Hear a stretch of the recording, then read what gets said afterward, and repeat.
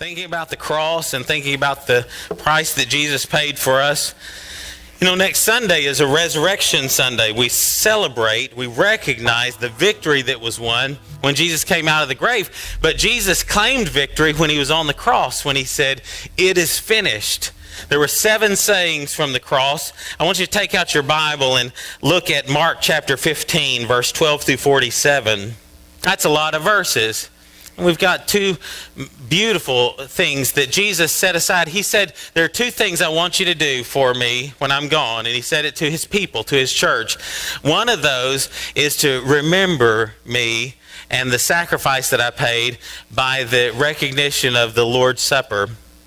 And we're going to do that in a few moments. The other thing was identify with me as you begin your ministry, recognizing when I died on the cross, I, I, was buried in the ground and came back out of the grave. Jesus began his ministry with baptism, and there's a young man this morning who's going to be baptized also.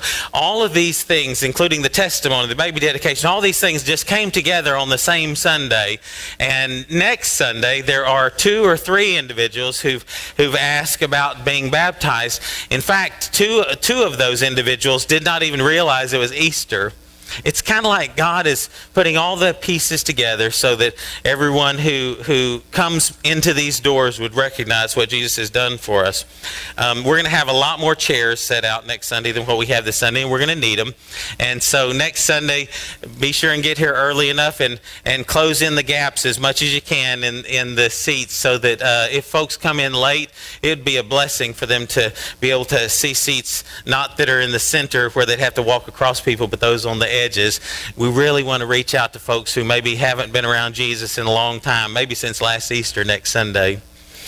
Today we're looking at Christ crucifixion. I was going to just read this scripture and then read the scripture about the uh, Lord's Supper and then read a scripture about baptism. Now I'm going to read those other two scriptures in a moment.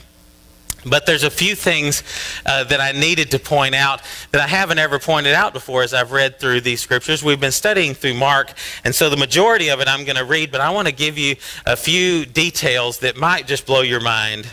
Mark 15, verse 12 says, now remember, Jesus was just before Pilate. The people said, We would rather have this murderer, Barabbas, May Jesus die on Barabbas' cross with those others who were part of the insurrection or those who were standing up against Rome at that time. Pilate said in verse 12, and I, this is the part of the verses from last Sunday, What shall I do then with the one that you call king of the Jews? Pilate asked them. They said, Crucify him. Why? Pilate asked. What crime has he committed? But they shouted all the louder, Crucify him, crucify him. And, and as it says all the louder, it's like it was in a repeated thing, like waves coming upon the ocean. Crucify him. Wanting to satisfy the crowd, one of Pilate's probably several downfalls, Pilate did release Barabbas to them. Remember, son of the father, Abba is the name father, as Jesus called him, and Bar Abbas means son of father. Then, then Pilate had Jesus flogged or beaten. It seems like it's not given the depth that it deserves, though across the different Gospels we learn other details about it. And then he handed him over to be crucified. Crucified, the, the word crucified, the word crucifixion, hanging on the cross, it's the place that we get, and if you think about the center of the word, it's excruciating pain. X C or how do you spell it? C R U C. That excruciating. The center of that is the crucifixion. It's where we get the excruciating pain, and it was gone. It was taken back to the cross and the sacrifices that Jesus did. Enough said about that. The soldiers led Jesus away to the palace, that is the praetorium, this place where they called together a whole company of soldiers. And then they put a purple robe on him, and then they twisted a crown of thorns and they set it upon his head. This crown of thorns and this purple robe, there's a little bit, if, if you're a person who is trying to find fault in the scripture, you could find a little bit of fault here. And that is if you look at other gospels, because Matthew says that it was a scarlet robe or a crimson robe, depending on your translation, and yet Mark and John say it was a purple robe. I looked up crimson and scarlet, and I looked up purple, and I found that those are two different colors. Well, was it a scarlet robe or was it a crimson robe? Which one was it that, that Jesus was wearing there? Here's something interesting, and I could go into a lot more detail, but I won't because of time. But purple in Mark uses a specific Greek word, and it's, it's a specific Greek word that was used for a specific purple. It was used for what is Tyrrhenian purple.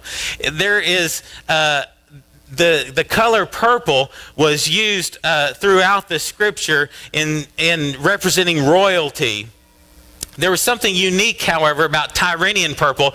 It was so valuable that if you had a robe made of Tyrrhenian purple, and purple was not an easy color for them to come across, they, they there were actually there had to be thousands of of snails killed in order to get a pure purple color.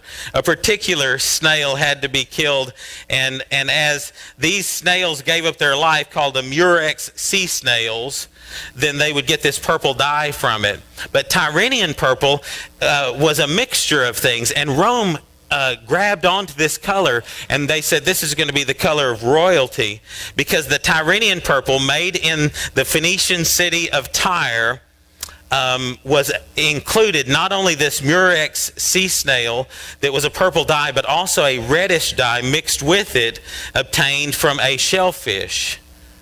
So this Phoenician city took these two colors and they put them together and they made a unique color and the value of the garments that were made out of this color that was so very rare that only the very very wealthy would would even consider. In fact there were some emperors not long after this uh, over the next few hundred years after this that said if anybody is seen wearing these colors other than the emperor or other than Caesar, then they will be put to death. We claim this color.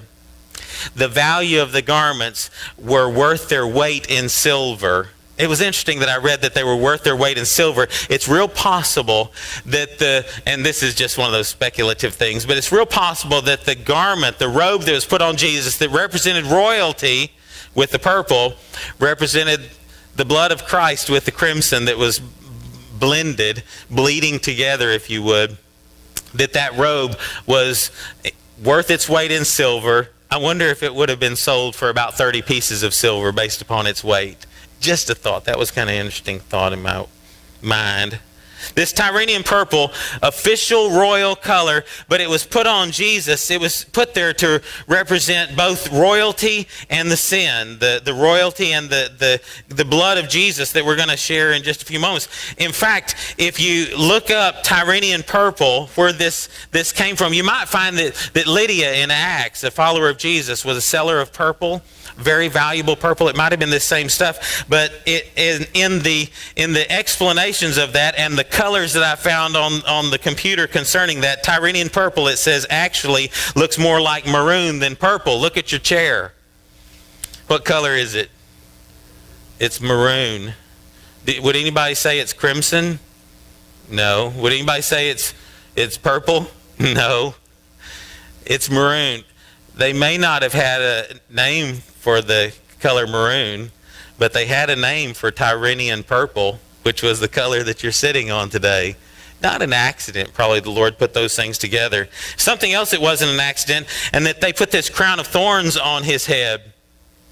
In Genesis chapter 3, verse 7, 17 and 18, uh, when the serpent was cursed and Eve was cursed and Adam was cursed. Adam was told, Adam, it's not going to be easy for you to eat anymore. You're going to have to plant, you're going to have to uh, grow fruit, grow vegetables by the sweat of your brow.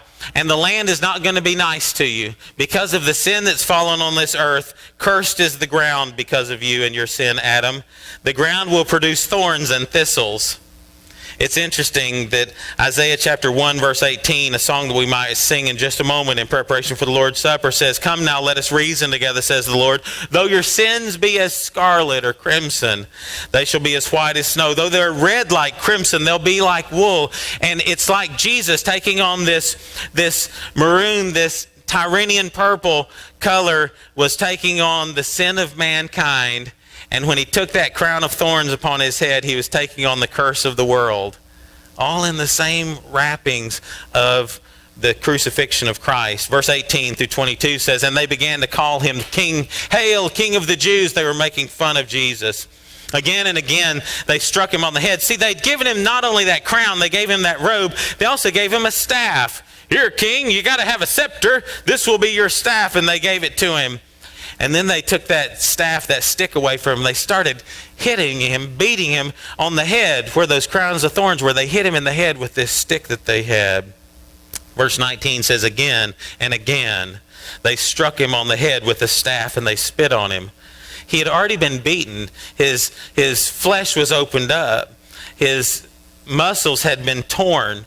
His bones were showing in places, and, and, and his back probably, uh, skin probably hung off of it like ribbons.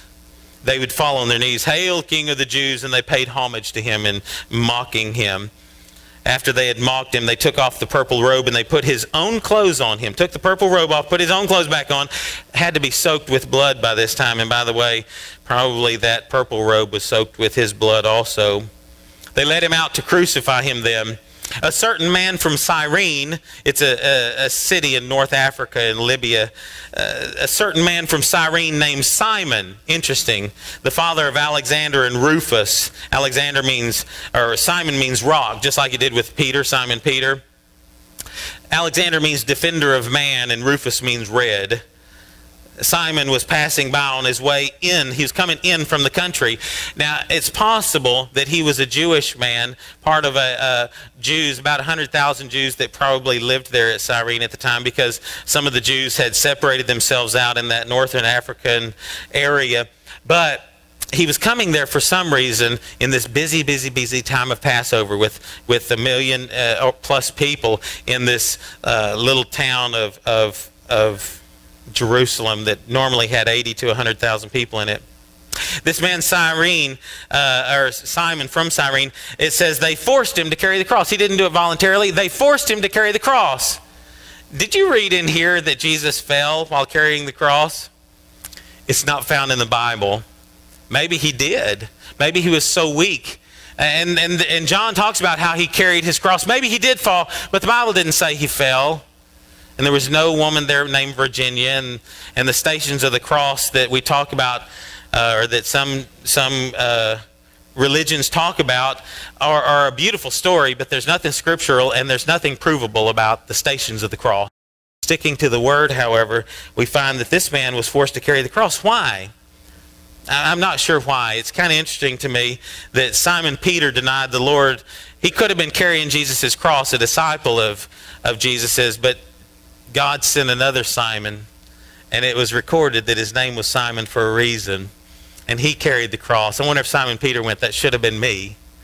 You know, when when did God have to use somebody uh, outside of, of your circle or our circle of a church to do ministry that we should have been doing? And just thoughts. Verse 22 says they brought Jesus to the place called Golgotha, which means place of the skull. It says in verse 22 of Mark chapter 15. Matthew 27 33 says they came to a place called Golgotha, which means the place of the skull, the skull. Luke 23 verse 33 says, when they came to the place called the skull, in the King James Version it says, when they came to the place called Calvary, See, in the King James Version, they took a Latin word, and guess what Calvary means? Skull. Calvary means skull. When they came to the place of skull, the Latin word for, for skull is Calvary, they crucified him there. John 19, 17 says, carrying his own cross, he went out to the place of the skull, which in Aramaic is called Golgotha. There are some people who are so limited in their understanding, and I wouldn't say it as a put down because I've been very limited in my understanding also, who have thought that the place called the skull had to do with a mountainside that was a little bit open there and had three different holes in it one for two eyes and, and one for a nose you got to be creative because I've looked at the side of that mountain and you got to pinpoint just a certain area there and go, maybe this, this bridge in the middle is, looks like a nose. Maybe this is the skull. And that was called the place of the skull. That honestly is the weakest argument for giving this place the name, the mountain or the place of the skull just outside of the gates of Jerusalem. You could see it from that praetorium, from that area where Jesus was brought and mocked before those, those individuals, where Pilate stood and, and condemned him to die. This place called the skull did not have to do with what that mountain has developed over the last 2,000 years to look like because land has changed in many ways over the 2,000 years. For heaven's sakes, the temple is underground over there. There's one wall that still can be seen that's been excavated, but the things that were on top of the ground, uh, like, like the houses and those kind of things, they're underground. Why would we think this mountain still looks like a skull that it did back then? It didn't have to do with that. It had to do with something that took place in 1 Samuel when little David, grown man probably, but maybe a young man, stood before a giant of a man named Goliath. And Goliath, as, as hell and earth came into the greatest fight and conclave that had ever taken place, David depended on the grace of God, carrying five smooth stones Maybe had to do with Glass brothers. Definitely had to do with grace because five means grace in the scripture, and I can prove it to you. But he, David took out that smooth stone and he put one in his sling and he threw it, and it sunk into the head of old Goliath. And Goliath didn't fall backwards, he fell forward like he was bowing down before the God that David worshiped. David went over and he took Goliath's own sword and he took it out of the scabbard or out of the hand of Goliath and he cut off Goliath's big old melon head. And he took that big old melon head from a guy that's between 9 and 12 feet tall, a giant.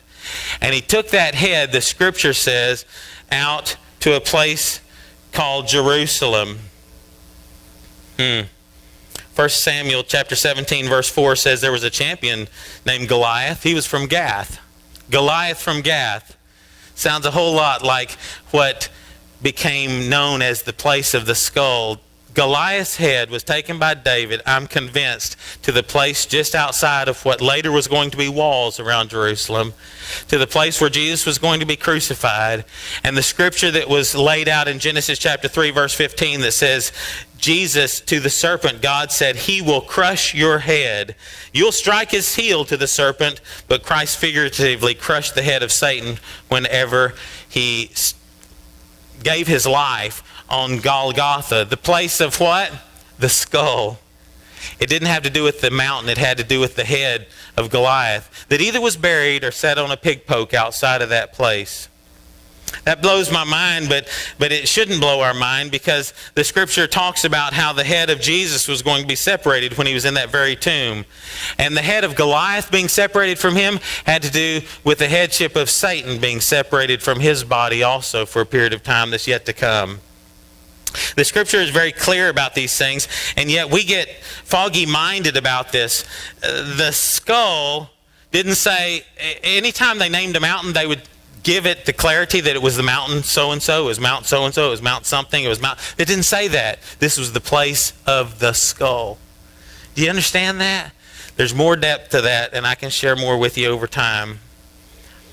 Why is it significant that David did that? And, and what does it tell us in the prophecies and in the future about what Jesus did? There's a passage in Isaiah chapter 9, verse 6 and 7 says, A Savior is going to be born. Unto us a child is born, unto us a son is given, and the government will be upon his shoulders, and his name will be called Wonderful Counselor, Mighty God, Everlasting Father, Prince of Peace. Upon the throne of David he will reign and upon his kingdom, his reign, to order it and to establish it with justice and with judgment. The reason Jesus is going to come back and establish his throne upon the throne of David is because that's where the victory was won to the greatest foe that Satan could attack mankind with. And Satan was embodying this giant called Goliath. Golgotha. Where did the name Golgotha come from? I don't know, but they named it Golgotha after Goliath's head was put there. In fact, Goliath from Gath, which sounds a whole lot like Golgotha, let's call it a skull place. It blows my mind, doesn't it? Verse 23 Then they offered Jesus wine mixed with myrrh, but he didn't take it. Remember, myrrh was one of those, he was given gold, frankincense, and myrrh as a baby. Gold to symbolize his, king, his kingship his kingly nature, frankincense to recognize him as priest, the incense, frank incense that was put in the temple, and the myrrh had to do with his death. Myrrh was an analgesic that had to do with something that if you took it, it, it killed pain. It helped with the mind. It, myrrh is used today for many, many, many different uh, healing properties. Look it up. He was given myrrh. In fact, he was offered it, but he didn't take it. They crucified, and verse 24 says, dividing his clothes up, they cast lots to see who would get each one. It was prophecy. I won't go into details there. It was nine in the morning when they crucified him, verse 25 says, and the written notice, the charge against him, because they had put the charges up on a placard above the, the cross where they were crucified. The charge against Jesus read, King of the Jews, this is your charge. They crucified two rebels with him, one on his right side and one on his left side. Verse 28 is not found in the NIV because it's not in the latest manuscripts there. But King James uses uh, Luke 22, verse 37 for verse 28 here. It says, And the scripture was fulfilled with those who were there, saying he was murdered, or he was numbered with the transgressors. Verse 29 says, Those who passed by hurled insults at him, shaking their heads and saying, So, you who are going to destroy the temple and build it in three days, why don't you come down and save yourself? Verse 31. In the same way, the chief priests and the teachers of the law mocked Jesus, the Lord. Among themselves, they said, Well, he saved others. Can't he save himself? And one of the sayings came from the cross that's not listed in your and not listed in Mark, but it's listed in Luke 23, where Jesus listened to and took in all of these things that were being said to him and about him and all these things. And he said in Luke 23, 34, Father, forgive them, for they don't know what they're doing. They're like dumb little children. They just don't understand. They're not dumb. They were ignorant of the truth at this time. There's a difference. Verse 32 says, Let this Messiah, this King of Israel, come down now from the cross. Those, those teachers of the law and Pharisees said, If he comes down from the cross, we'll see, we'll believe. And those crucified with him also heaped insults on him. At least one of them did. There's one that said in Luke 23, Remember me when you come into your kingdom, Jesus. One of those thieves that was hanging next to Jesus on the cross. And Jesus said, uh, second saying of the cross, Today you'll be with me in paradise. Today, this day, you'll be with me in paradise. Paul used that same word for heaven on a few occasions in the end of Corinthians. And then Jesus looked down at his, his mother over here, Mary, and the other ladies who had been there, and, and other gentlemen. In fact, one of the disciples certainly was there. The others were probably standing behind trees. One of them was close to Mary. It was John, the beloved, the one who wrote the book of John, not John the Baptist. He was already dead. And Jesus said that third saying of the cross. He said, Woman, behold thy son. And then he said, Behold thy mother. He used that term woman again. That was the term he used when he first did his first miracle, when he turned the water into wine, which was symbolic of, of those ceremonial jars of cleansing. Had to do with mankind because it used the number six, and man's number is six, Revelation tells us. That's why Satan takes the number of man and the number of God, 666. But the fact is that those six stone water jars were used with water for ceremonial cleansing under the Old Covenant. And Jesus turned the water into wine, symbolic of his blood that we're going to take in just a little while. And, and when, G, when Mary said, Jesus, they have no more wine, Jesus used the term, he said, woman. I used that with my mom once. No, I didn't. Jesus used it. But it wasn't a, something that showed disgrace to his mother. It was something that separated him from his earthly family to his heavenly responsibility.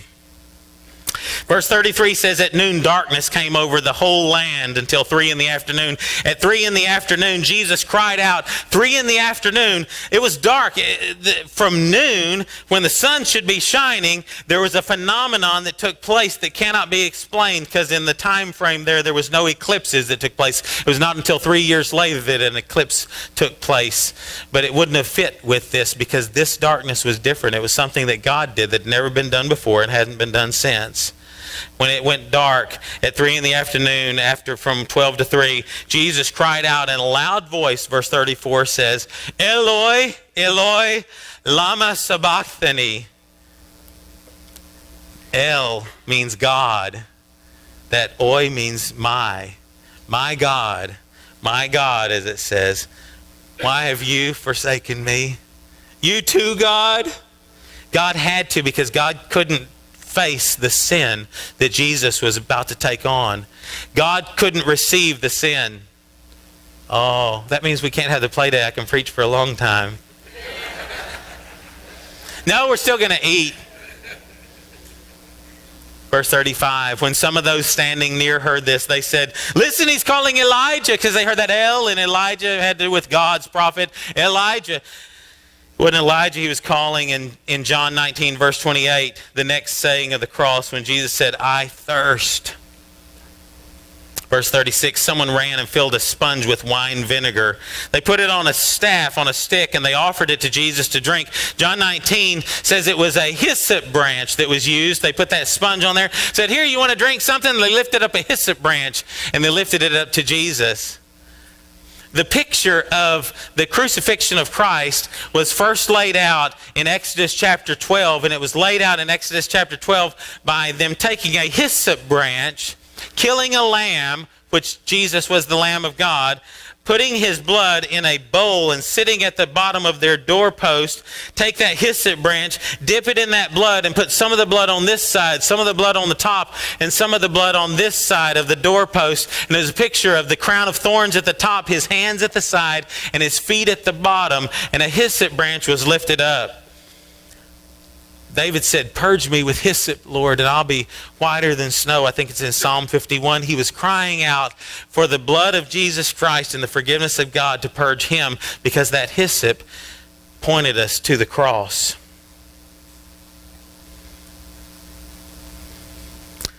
After they lifted up that for Jesus to drink, he didn't, of course. Now leave him alone. Let's see if Elijah comes to take him down, they'd say with a loud cry, with a loud cry, and I won't do it loud just in case your husband is asleep. Jesus breathed his last words. He said the last two sayings of the seven sayings recorded on the cross. Jesus said in John 19 30, and it must have bounced off the mountains that were on those areas over there. It is finished! All of the power that he could muster claimed that the price was paid. It was done. Sin was paid.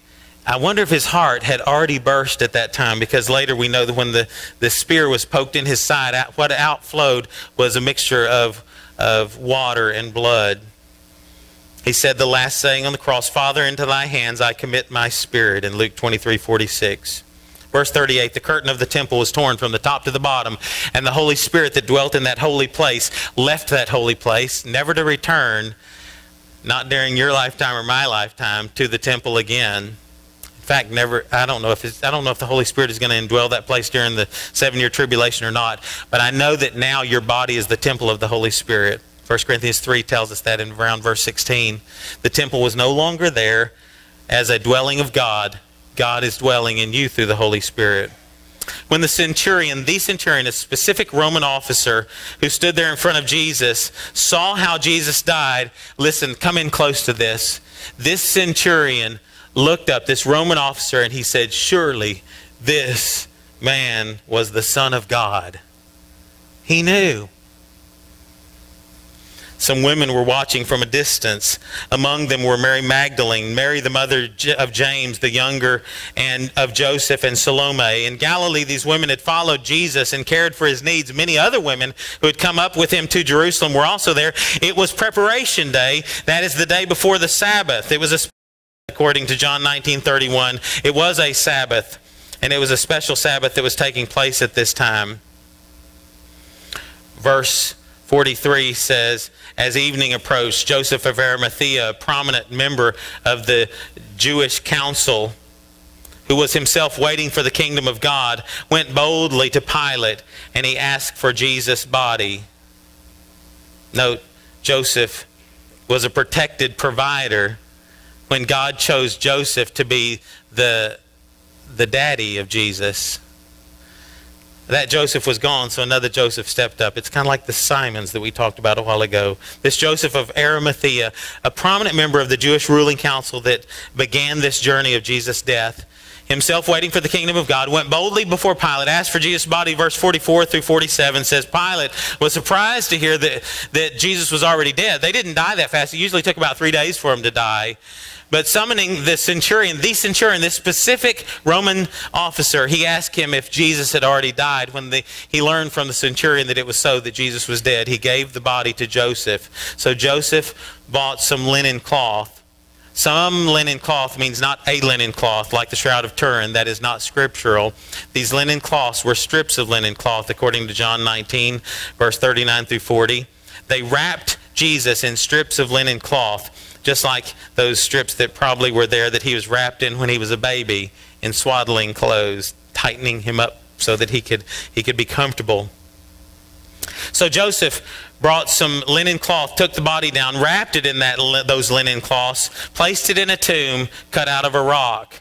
And the last verse says, Then he rolled a stone against the entrance of the tomb. Mary Magdalene and Mary, the mother of Joseph, was there and saw where they laid him.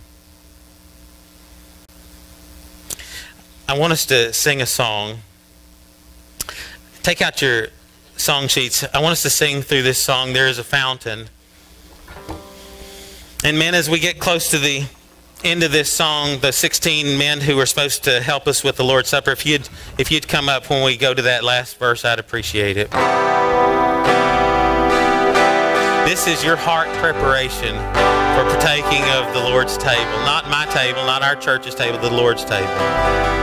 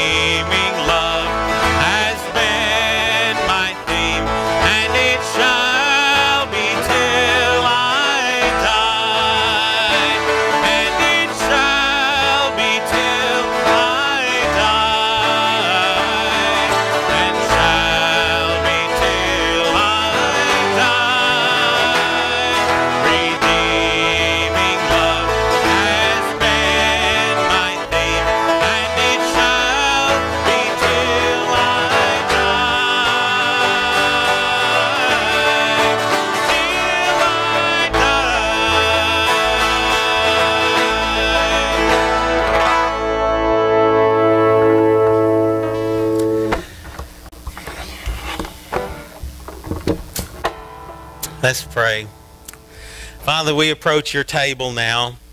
We're going to eat our meal just like you encouraged us to do in a little while, separate from these things. This is the table in which we recognize your body, we recognize your blood, we recognize your life, and we're grateful that you call us your children. And we couldn't be called that if our sins were not forgiven. Father, if there's anybody in this room who has not accepted you yet as, as their Savior, in the midst of this prayer, before they take these elements, may they say, Jesus, I heard today and I recognize that you died for me. May they realize they can't get into heaven with their sins because the garbage of sins don't go into where God is. It's an impossibility for his purity and sins to be together. It has to be through the blood of Jesus Christ. And Jesus said, No one will come to the Father except by me. I am the way, the truth, and the life. Lord, if someone has not accepted you, may they be even doing that now. As the songs play and the elements of your body are passed out, in Jesus' name we pray. Amen.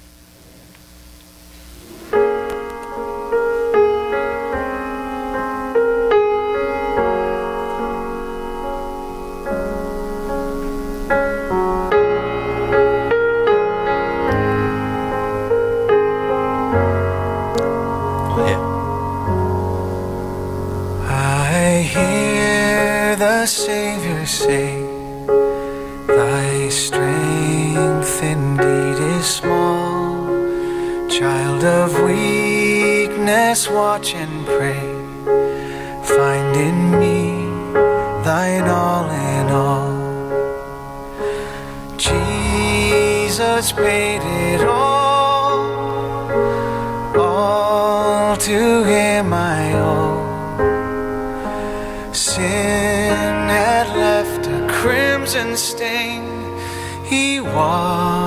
it white as snow.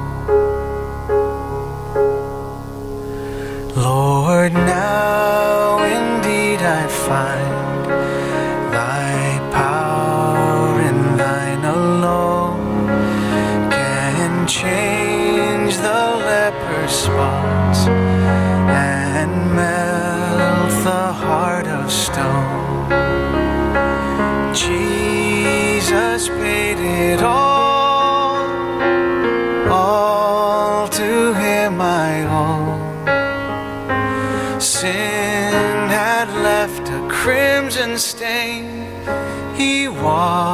washed it white as snow.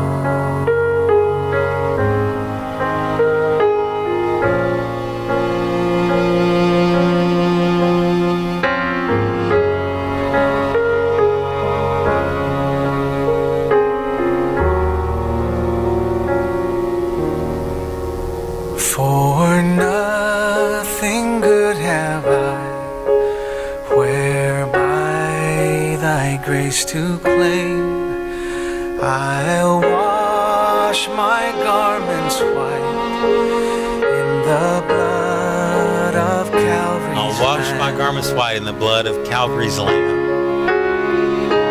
Jesus paid it all, all to him I owe.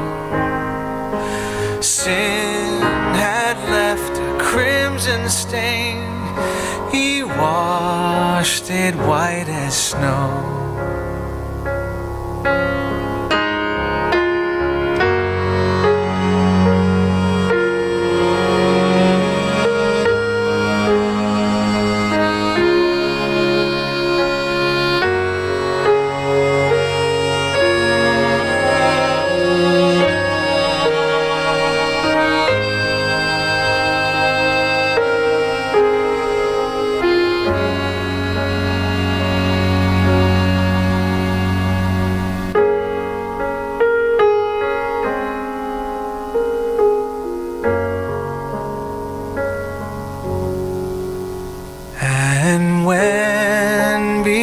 Before the throne I stand in Him complete, Jesus died my soul to save. My lips shall still repeat. Jesus paid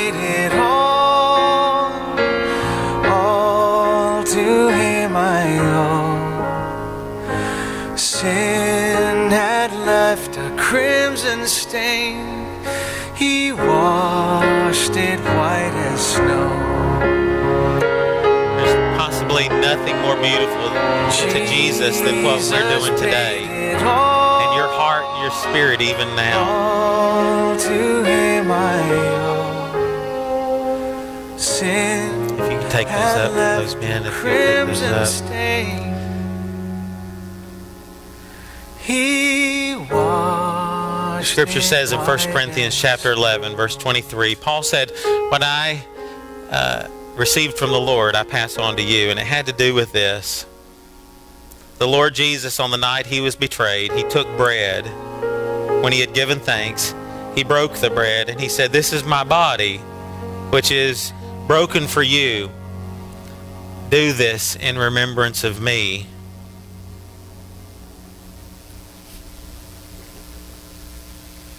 Did y'all get one? He prayed first. Father, we thank you for sending your son. Jesus, we thank you for voluntarily coming and laying down your life who, in front of men who had no power over you, but you voluntarily laid down your life, Sing of my singing of our Redeemer. With our hearts lifted up to you, we recognize in remembrance of you what you've done. Thank you for this season of our remembrance. We look forward to our resurrection also. In Jesus' name we pray. Amen. Took and ate it. Sing, oh, sing of my Redeemer with his blood. Purchased me. On the cross.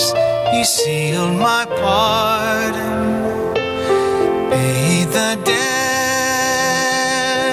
and made me free.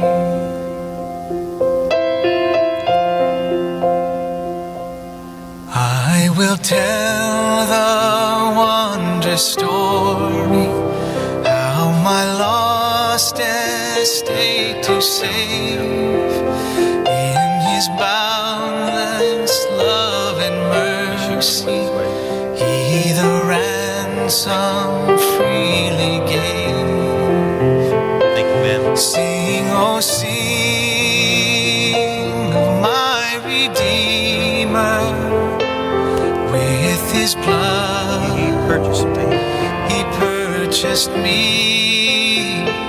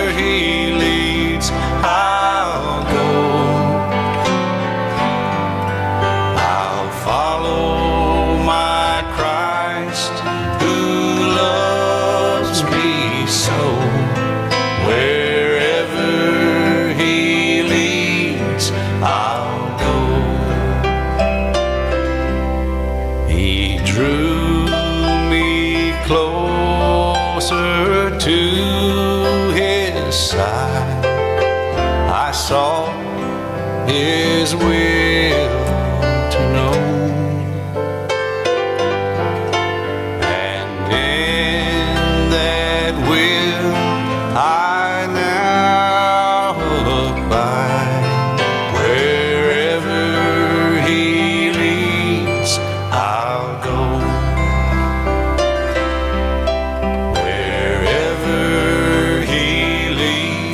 Scripture again in 1 Corinthians chapter 11 It says, In the same way, after supper, he took the cup. And as he took that cup, he said, This cup is the new covenant in my blood.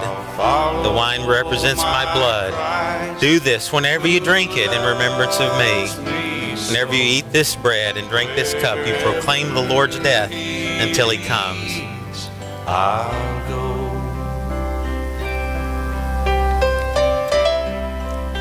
Philip Howard, come on up here. Let's pray. Lord Jesus, I thank you for the beautiful people. That this seems like possibly the sweetest time, possibly because of us looking at some of the details of your death and your burial. We look forward to next Sunday when we celebrate your resurrection. Oh, we've looked forward to that for a while because it's it's been tough walking through the tough times with you, Lord. But I know that if it were not for those tough times where you laid down your life, we would have no joy, we'd have no future. We couldn't have a, a comforter who walked with us today and we'd have no hope for heaven because we couldn't get into heaven with our sins. Thank you for guiding us.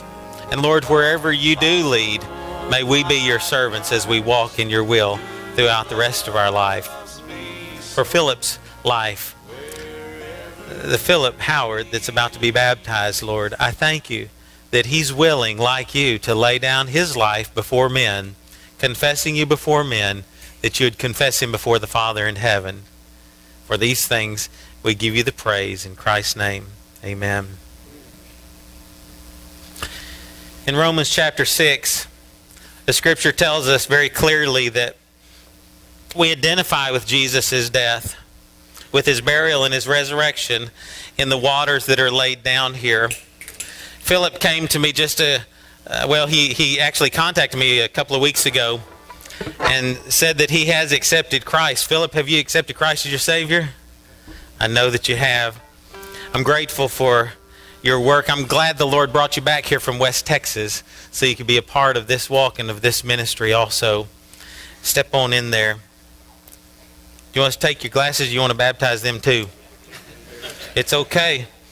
I remember one time the old fella that stepped into the waters to be baptized, and the preacher said, I think you still have your billfold there. And he said, Well, you might as well baptize all of me. And he went down, money and all. How about that? Philip, as the scripture is laid out for us, Jesus laid down his life, but he came out of that grave. And the picture of you laying down your life here coming out of this place for the sake of living a life for Jesus. When he said he wanted us to lay down his life, he didn't say we have to die for our sins. We have to accept him who died for our sins, and he wants us to live for him. It's because of your profession of faith, step up one more step. In Jesus Christ, that it is our privilege today to get to baptize you in the name of the Father, Son, and the Holy Spirit.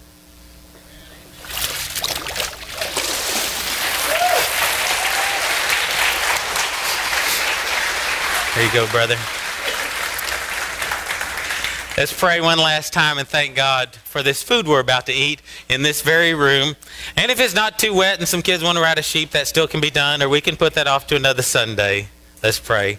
Father, I thank you for this beautiful, beautiful people, for the glory of this day, for the rain, the showers of blessings. We give you the glory. May, may more and more showers come. If they happen on Sundays, we'll thank you for that. There'll be plenty of time for us to enjoy your creation here.